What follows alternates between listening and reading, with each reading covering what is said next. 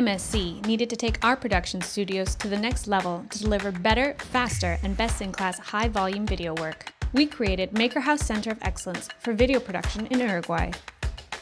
The installation was carried out by our partner CineSys, who offered seamless service and support throughout the process with two Adobe Creative Cloud suites, including latest 27-inch iMac Pros, Retina 5K display, 1TB SSD hard drive, 128GB memory, 10GB Ethernet Direct Connect to SAN, and one Avid Pro Tools Ultimate Mixing Suite, including Pro Tools HDX Core, Avid HD Omni Interface, Pro Tools S3 Control Surface Studio, Yamaha powered studio monitors, and Source Connect with remote audio recording and monitor from anywhere in the world and most importantly, a strong post-production team of diverse backgrounds and specializations, capable of delivering high-volume video work with the highest quality and fast turnaround.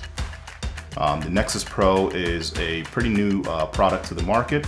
Um, you have a 40 terabyte solution, um, and that solution is a pure SAN solution. Uh, and also we've deployed about seven iMacs with that uh, solution as well.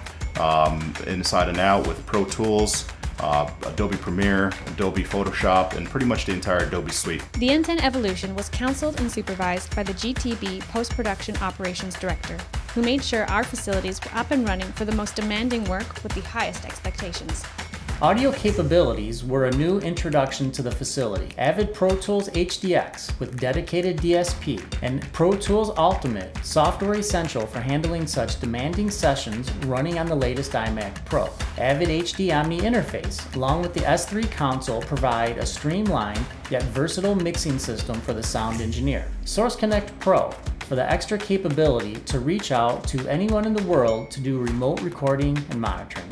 Uh, working with the Wunderman crew here has been a phenomenal experience for me. We integrated really well, and I think that they have uh, showed um, why they're going to excel in, uh, in, in the future and also with this SAN currently. Uruguay is ready to go.